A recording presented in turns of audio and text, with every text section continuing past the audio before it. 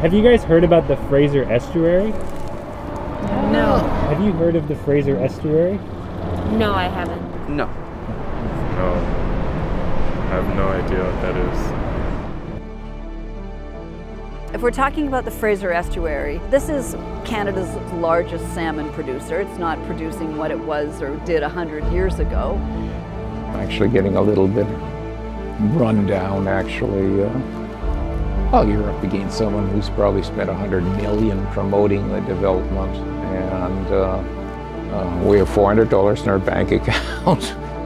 As the world plans to uh, increase its overall economy. It's determined that we need a much bigger container terminal, and so that's a giant area of the estuary mudflats. So what these structures do is they really dissect the estuary and that natural mixing of fresh and salt water.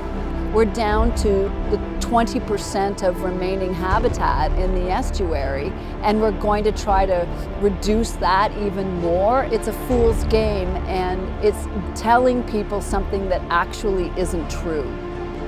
What is the carrying capacity of this delta to take anymore? I've said it a million times. This is a death of a thousand cuts. We haven't had any brave leadership yet.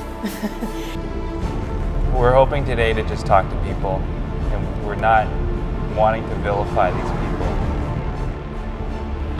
The last place that our family spoke our own language was right here where we are now.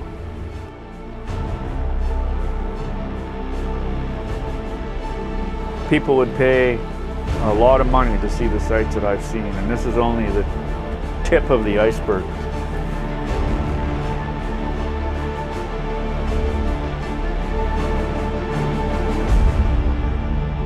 Alright, thank you Hi there. It's an honor to meet What's you. your name? My name is Brendan. Pleasure to meet you, Brendan. I was wondering if I could ask you a question about the environment. Sure. Have you heard of the Fraser Estuary?